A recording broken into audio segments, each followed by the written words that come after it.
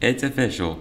The Super Mario Bros. movie has officially become the highest grossing video game movie of all time, making over 500 million within the first week, first 10 days or so of its release.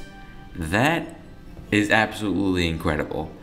To, to, to see that we've gone from 2021 to people like just reacting at the cast and saying, oh, this movie's gonna be a flop, but then came the trailers and sneak peeks, and then people said, "Ah, this this this might be a good movie," and sure enough, apparently, many people loved it. I've seen countless reviews, and I haven't even seen the movie yet.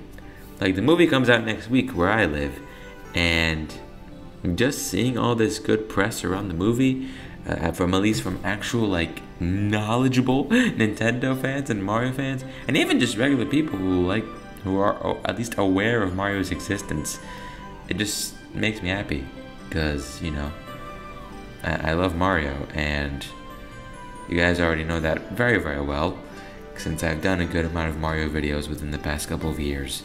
So that definitely means we're gonna see like anything after the Mario movie. Maybe a sequel, maybe two movies. We'll get like a trilogy or something. Maybe even like maybe even some other Nintendo characters if they want to dive uh, dive into them. Like maybe who knows? I I'd love to see a Donkey Kong movie. Like that could be very good. Like a Donkey Kong Country style uh, movie. That that would be pretty awesome. But anyways, I just wanted to come on here and say that uh, the good press that the Mario movie has been getting is just absolutely incredible. And trust me, when the movie comes out next week where I live, the first thing I'm doing is getting my review out as fast as possible. It's going to be a little bit similar to the Cars on the Road review I did a few months ago.